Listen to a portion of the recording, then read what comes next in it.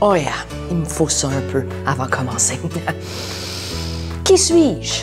Alors, je m'appelle Isabelle, j'ai 45 ans et je suis une professeure de français immersion. Montréal, plus précisément. Une journée dans ma vie de prof, ça ressemble à quoi? Ça ressemble à ça. 5 heures du matin, on commence la journée avec un petit workout. Je suis une personne matinale. Je commence ma journée avec des exercices. Une fois que mes exercices sont terminés, douche, déjeuner, café, café, café, surtout le café. Café. Parlant déjeuner, j'aime manger santé. Oh, ça me tente ce matin. Pas beaucoup de gras, le moins de gras possible. Can I have the, um, the bagel with the egg, the bacon et la patate, s'il vous plaît? Le secret, c'est de bien s'alimenter.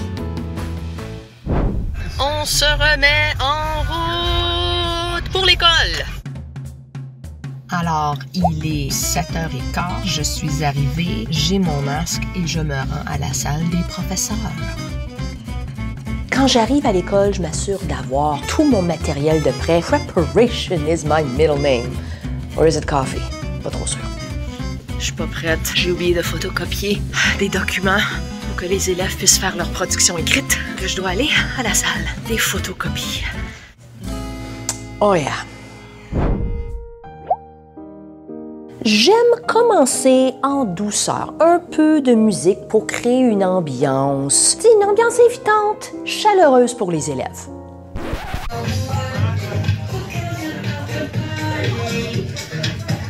C'est important que la période se déroule de façon structurée, contrôlée.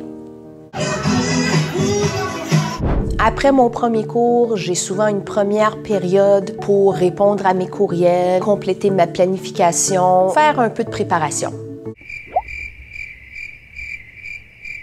Quant au contenu de mon cours, j'essaie de le rendre signifiant pour mes élèves. Oh, je pourrais peut-être trouver un texte sur la popularité du jeu Among Us ou peut-être un article sur le groupe BTS. C'est encore populaire ça, BTS? Est-ce que les jeunes jouent encore à Minecraft? C'est important pour moi que les élèves se reconnaissent dans ce qu'ils apprennent.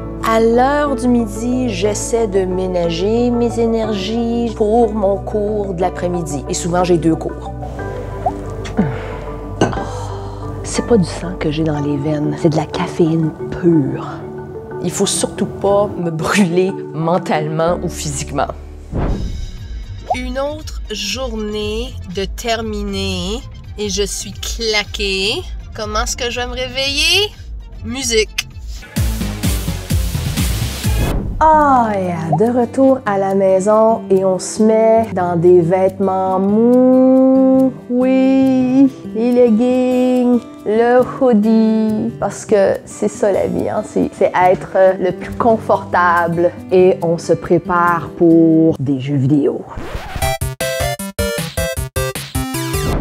À la maison, Ma famille et moi essayons de préparer le souper ensemble. J'essaie de ne pas apporter mon travail à la maison, mais le soir, ça arrive que je veux faire la révision de mon calendrier, de mon agenda pour la journée suivante ou même pour la semaine à venir. Je m'appelle Isabelle Allary et je suis une prof en immersion complètement passionnée.